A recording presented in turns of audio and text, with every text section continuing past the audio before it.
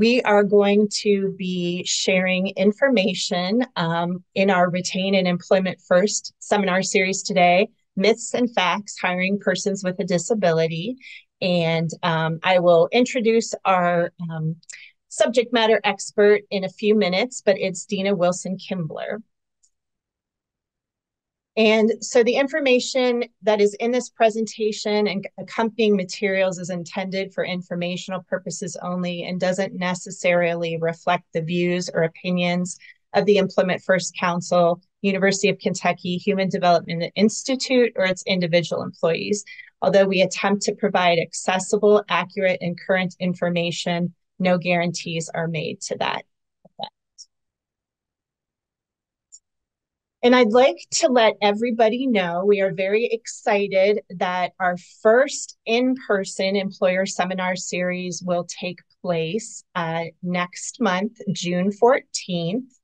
And it will be return to work and stay at work is good business, keeping your bottom line healthy. And Dr. Dennis McLean who is one of our partners from Norton, will be presenting this um, at noon to 1245, uh, as I mentioned, June 14th at the Norton Healthcare Goodwill Opportunity Campus, the Goodwill Opportunity Center on West Broad way in Louisville. So um, I also put that information in the chat. There's a link to register if you're interested and are able to attend in person. Our goal is to be able to record this and um, open it up for um, put it up on our Retain Kentucky Media website so that even if you can't attend in person, you'll be able to um, see the recorded version at a later time. And then in July, we will be back virtually. So save the date for our um, July 11th Employer Seminar Series for inter- innovative supports for autistic workers, where Bev Harp from the University of Kentucky's Human Development Institute will share innovative ways to support the employment of people with autism. And I also put that link in the chat as well um, if you would like to register for that please do. We hope that you can join us. I will also be sending out a certificate of attendance um, following our meeting today for any of you that would like to submit that for um, CEUs to your credentialing body or for professional development as a community rehab program. So our objectives today will be um, to review common myths when hiring someone with a disability. And then we're going to look at facts when hiring people with disabilities and talk about how we can all increase inclusion as well as accessibility in the workplace. So our presenter today is Dina Wilson Kimbler. Dina joins us from the Kentucky Office of Vocational Rehabilitation, where she is an employer services branch manager.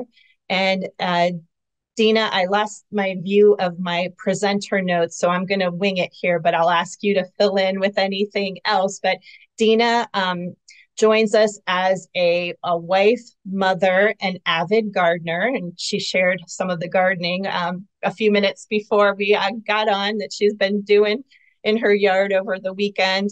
And she is also a person who has worked very successfully as an individual with a disability, um, helping people secure and maintain employment. And so she has a dual perspective one, as someone who is um, helping individuals with disabilities, but also someone who has negotiated um, accommodations on the job very successfully. So um, we're excited to have you here today as our uh, subject matter expert, and we really appreciate you taking the time to be here.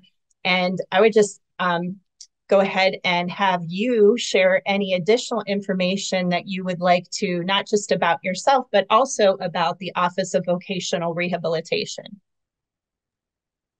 Thank you, Kimberly. Um, so I'll just start out with a very brief um, overview of what we do at Voc Rehab before we get into the myths and facts. The Office of Vocational Rehabilitation serves all of the counties across the Commonwealth of Kentucky. We assist persons with disabilities to find employment, competitive integrated employment. Um, we also would like for people to be able to move up in their jobs or gain valuable experience that will help them move up to other jobs later on. And we assist with retention services, um, on the job supports. We have work experience programs. Um, people meet when they become um, eligible for our services, they meet with a VR counselor and work with them to determine the best route, whether it's going straight into the workforce or training, licensure, um, furthering education.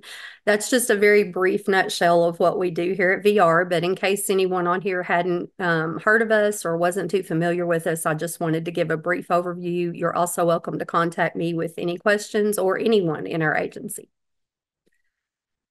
Thank you very much. We appreciate that information. Sure. And again, thank you for joining us today to share your expertise.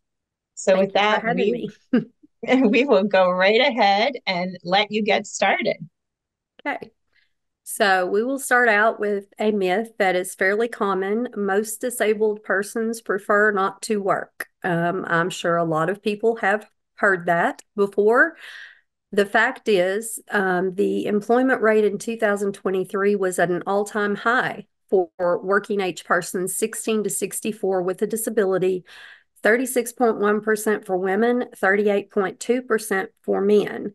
And this um, was deemed from the U.S. Bureau of Labor and Statistics annual report that they came out with um, this past February. And there's a link later on in our resources for that as well.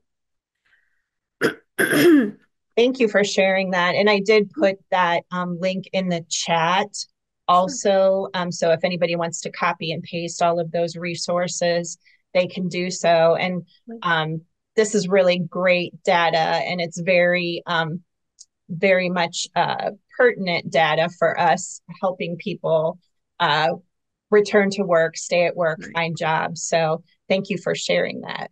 Mm-hmm. And then our next myth is disabled workers require too many accommodations.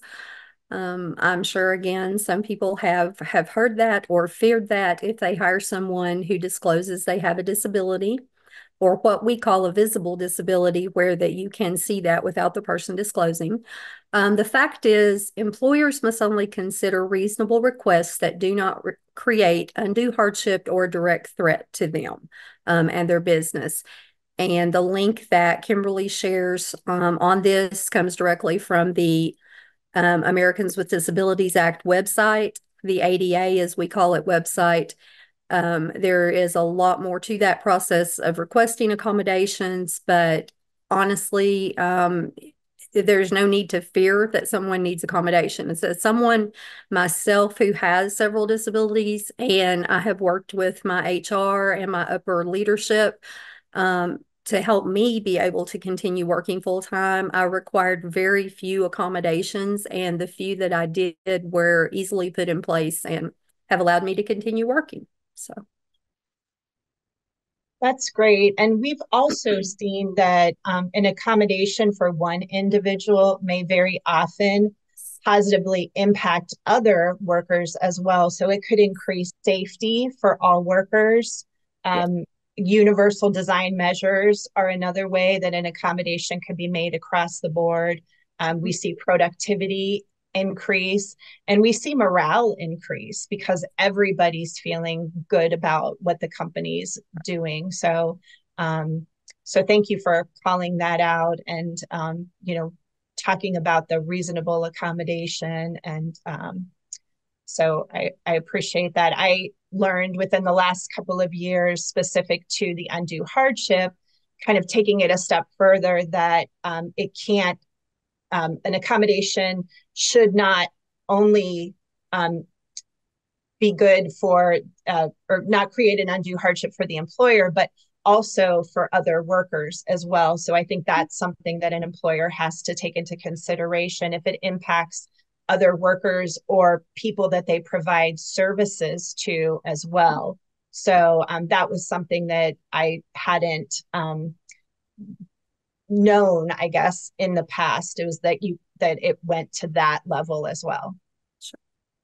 And I should add here also, um, my team of employment specialists are located across the entire state, and we can provide um, training on these subjects with the ADA to employers, um, their HR staff, their hiring managers, um, whomever they would like us to speak with. It can be virtual or in person, but we we can provide that as well. That's a really great um, service to have. Um, so it's free to employers. I think a lot of times people think OVR is for the person who is coming to you for the direct service provision, but employers can get mm-hmm. services from OVR as well. And the fact that you can do it virtually or in mm-hmm. person mm-hmm. is great. Um, I think employers would feel very comfortable coming to an organization like your employer services um, to be able to access that. Awesome.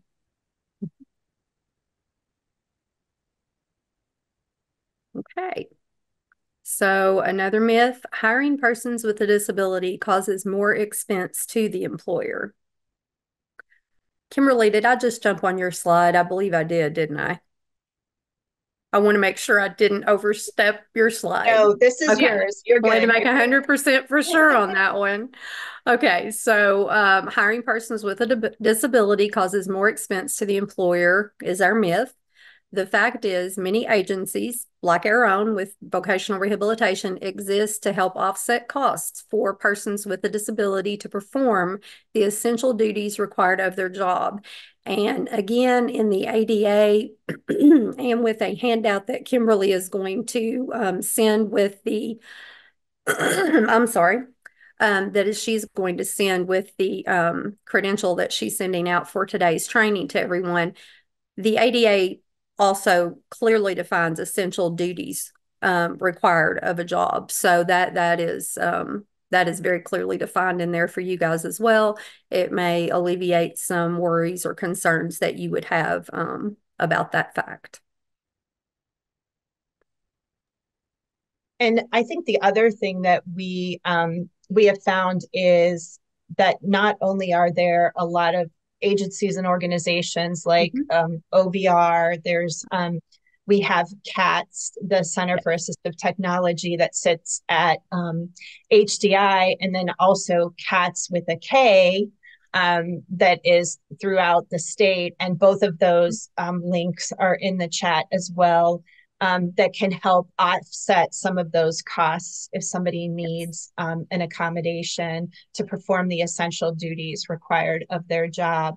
Um, one of the things that we found at Retain is oftentimes um, people may not be aware of exactly what the essential duties of their job right. are and may ask for an accommodation for something that really isn't an essential duty and mm-hmm. therefore mm-hmm. you know they may not even have to be worried about that doing that job um, i've seen people who have really just kind of picked up extra tasks because they're helping a coworker or mm-hmm. they thought it was a part of their job and it really wasn't and so that's something else that um, i don't know if you've seen that dina where I think it's important for everybody to to get a copy of their job description and to know what the essential functions of their job are.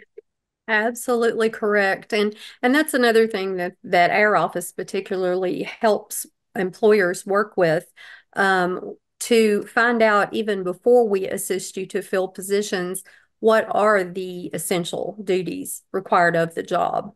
Um, so we can we can know that up front with air consumers is what we call our clientele.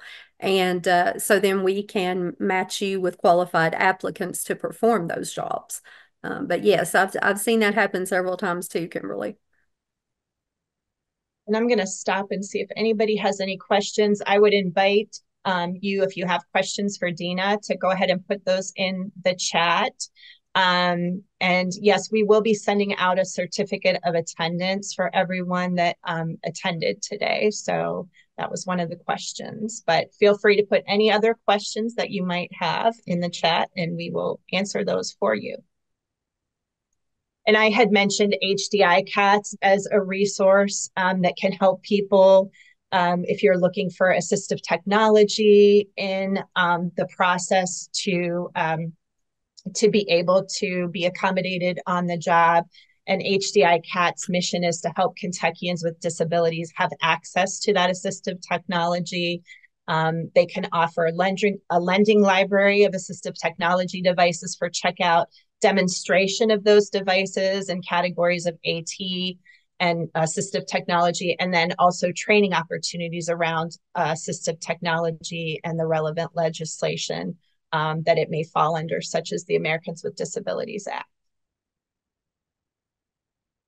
Oh, this is a great question. What is the best way for an employer to reach OVR in Kentucky, Dina?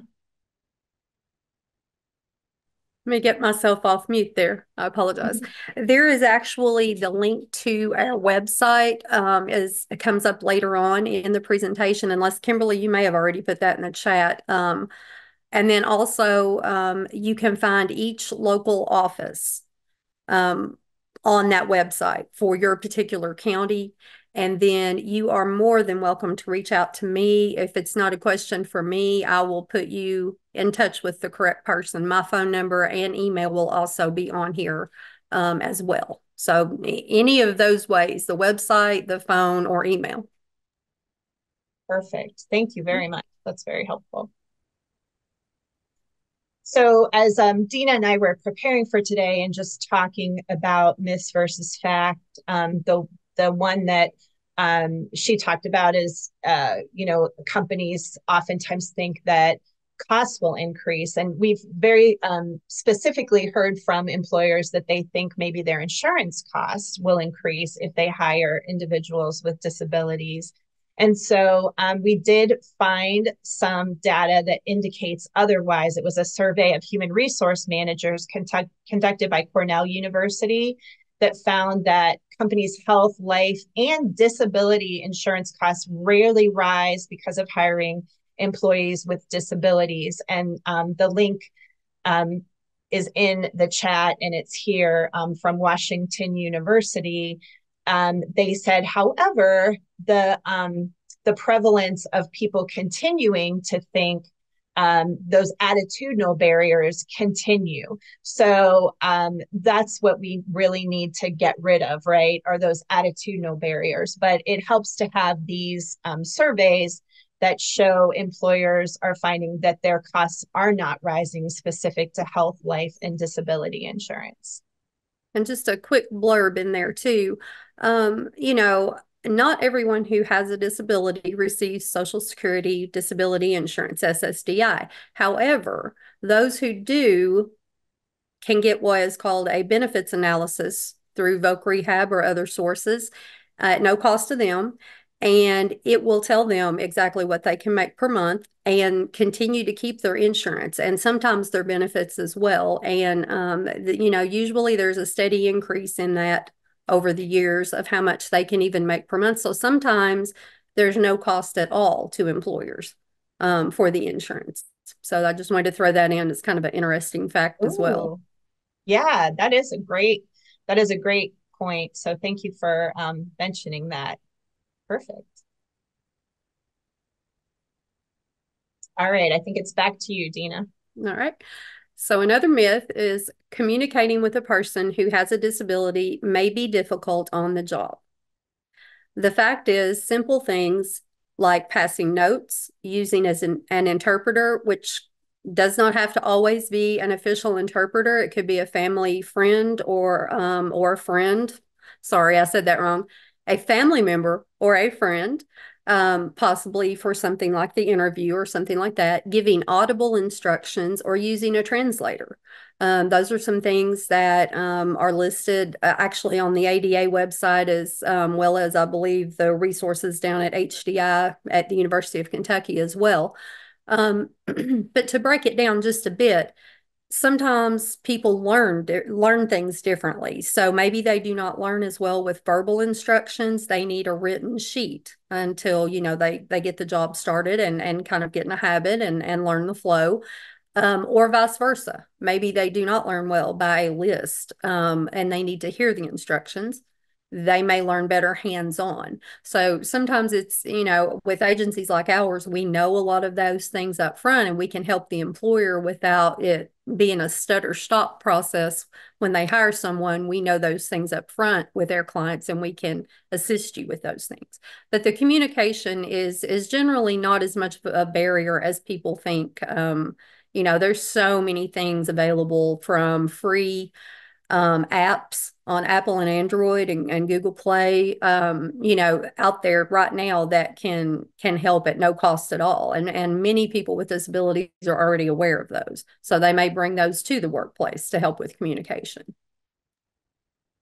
Yeah, And I think this is another area where it positively impacts everyone in the workplace, you know, to, to use those inclusive mm-hmm. communication mm-hmm. techniques. And um, we have talked about in, in past employer seminar series, um, some companies will um, will occasionally or in the onboarding process ask people you know how mm-hmm. do you like to be how do you best communicate and how do right. you like to be communicated right. um, with and that's really helpful too we've had um, we've shared something called the biodex user manual where people mm-hmm. talk about you know how they like to communicate and and how they like to work in groups or work individually and um, i think that really speaks to this communicating with yes. everybody um, and and you know uh, in an inclusive manner really just benefits everyone and it brings a point you brought up earlier, too. Employers do not always know everyone in their employee list that has a disability. Some people do not disclose, they just try to make it through and uh, or they self accommodate in some way. But when you are providing or working through agencies like mine and Kimberly's to help with these things like communication and other things, other employees who need that type of assistance may see that. It boosts morale. It gives them hope that they can be helped too. So there's there's just so many things that this type of inclusivity can bring positives to the workplace. Absolutely. Yeah that's a really good point. and and the other thing you and i talked about um, and, and i think you mentioned earlier is that um, you know if the disability is not a visible disability then oftentimes you know people employers or or coworkers aren't aware of it either. And i think we've gotten um, better at talking about things like mental health and people you know um, coming forward when they do need an accommodation. But um, that's something to keep in mind too. Sometimes you know people aren't aware that someone yes. has a disability because it's not visible and it can be chronic illness or disability too that isn't visible. Just a few mm-hmm. would be a back problem or carpal tunnel or, you know, things like that, or something happened from a car wreck years ago that's now bothering the person, but you do not see it visibly at all. It's just something they deal with every day. So, absolutely. So, we also wanted to highlight advantages to hiring a worker with a disability. And um, this also comes from Washington University, where they've found that workers have insight on how to serve customers and clients with disabilities that um, with that a worker without a disability may not have that perspective or insight it also provides greater diversity and increased perspectives in the workplace. And studies have found that that increases the retention rate of all workers, as well as we've talked about this productivity. And um, the last bullet here speaks to how it benefits the public, media, and we're going back to communications again, the communications across the board. So these are just a few ways that hiring workers with disabilities can um, be an advantage. And I'm seeing lots of requests for certificates. We're just going to go ahead and send certificates out to everybody who attended today. So you don't need to put your name in the chat. We'll get those to you uh, probably in about a day or so. I wanted to share if you have not had the opportunity to see um, previously the definition of an inclusive workforce that we've created as part of our um, Retain Kentucky project and our inclusive worker health leadership network has been um, talking about this for quite some time now. But an inclusive workforce is one in which the unique skills, contributions, and diversity of qualified individuals, including those with disabilities, are actively recruited, valued, and integral for success. It's an environment where the engagement, development, retention, and advancement of increasingly skilled and diverse workforce is promoted and supported across all employment sectors and levels.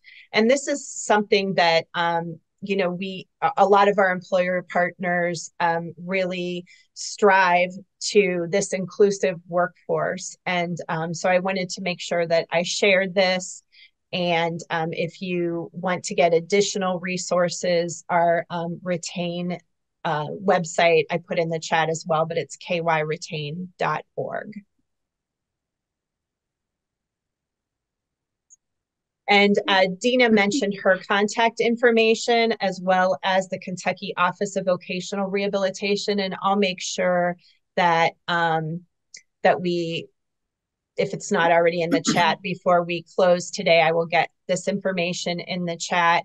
But um, Dina's contact information is here, and she put the website for Voc Rehab, which I've used that um, on a number of occasions. It's really great. You can go in there, and as as she has here, the local office numbers are also included, so you can um, find out where you would receive services based on um, where you reside. But the other thing, Dina, if you could just confirm this, I know um, we've had participants in Retain who have been able to meet once they get an assigned counselor. Um, everything can be done virtually. Is that still the case with OVR services? If the consumer, which is what we call our clients, mm-hmm. um, if they are okay with that, if they request to meet virtually, um, it can just be a personal choice. It could be due to their disability, whatever reason. Yes, we can meet virtually.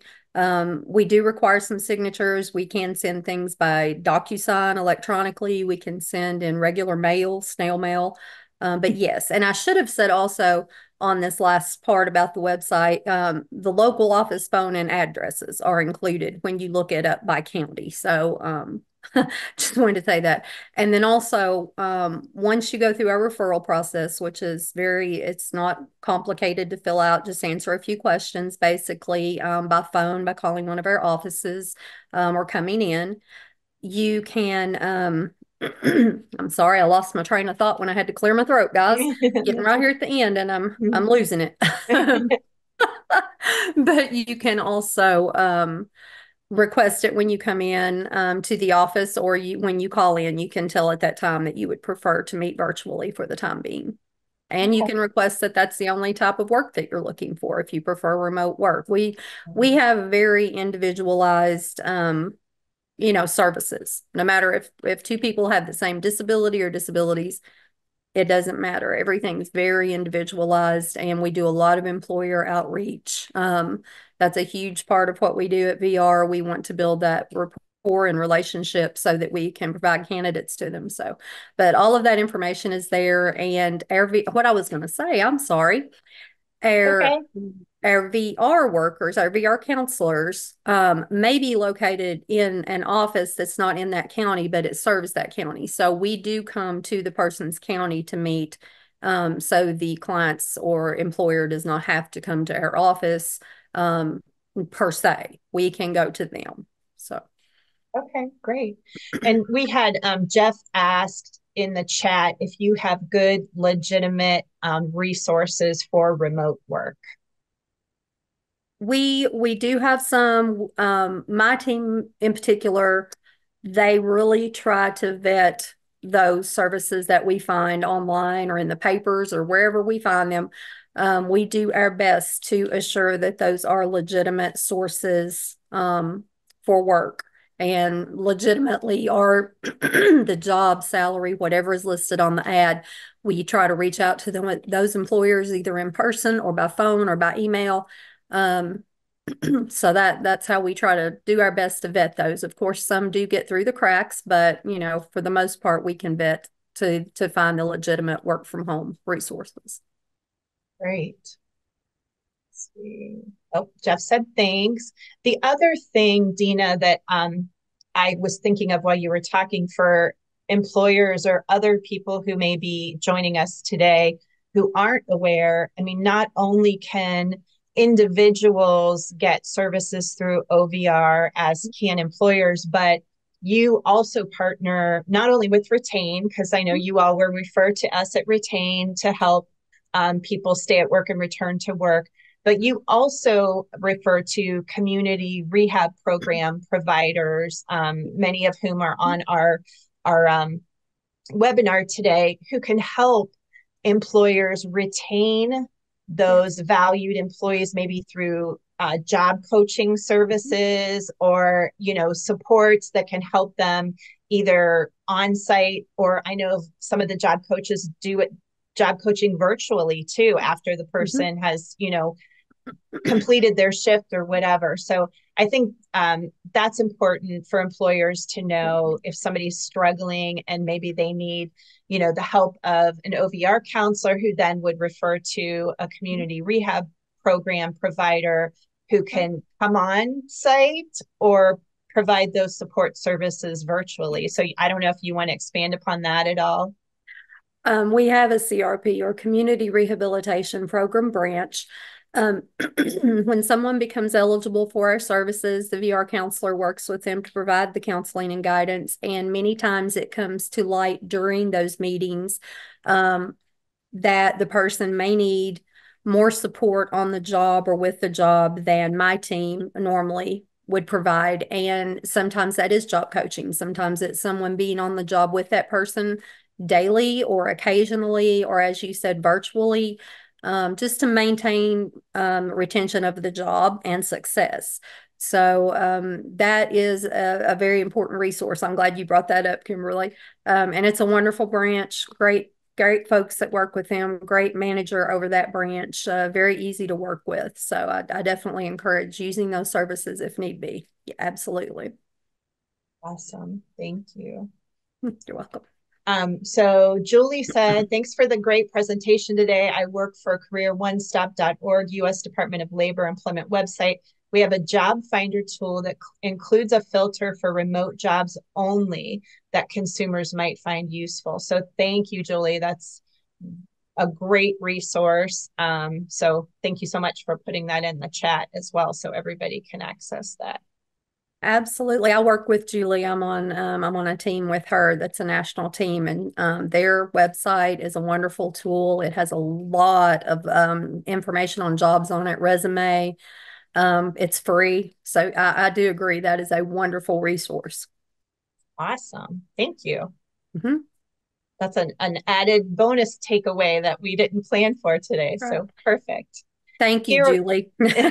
yes, thank you so much here are all the um, uh, resources that um, I believe are already in the chat. Um, and uh, we can also, we will send these out with the um, certificate of attendance that everybody will get following today's um, webinar. Give us, like I said, a, a day or so to get those out to you. Like, I also just wanted to share that we um, are um, providing services through Retain Kentucky to individuals who are 18 or older and live in Kentucky. They are either currently employed or have worked in the last 12 months, and their injury or um, illness may, um, must not be work related. So you might notice in the past we've said that they can't have applied for or received SSI or SSDI that's no longer the case. So when you talked about that earlier, Dina, I was like, oh, I'm excited to be able to share that we can now serve individuals who are receiving SSI or SSDI. So please keep that in mind if you're an employer or um, a workforce development individual, a community rehab program provider, and you have people who have who are have applied for or receiving SSI or SSDI, we can now serve those individuals at Retain Kentucky. And we can do that in collaboration with all of you. Um, we work in collaboration with OVR, who is um, our lead for the Retain Kentucky grant. And we can work with you if you're a community rehab program provider or other workforce development professional, employer, healthcare provider. So if you have any questions, feel free to reach out to me. Um, our contact information, phone number is here, 859-562-3251. You can email us at retain at uky.edu. Our website is kyretain.org. And we also have um, a participant screener that people can scan our QR code or go to our website um, and you can find this and they just have to answer the eligibility criteria and then it takes them to our intake um, queue where someone from our intake team will reach out to them. And we're really good about reaching out within a couple of days and getting the process started. I did also want to remind everybody um, we are in partnership with Employment First Kentucky. So this is their um, website, www.employmentfirstky.org, if you'd like to find out more about Employment First as well. And then with that, I would just like to say thank you everyone for joining us today.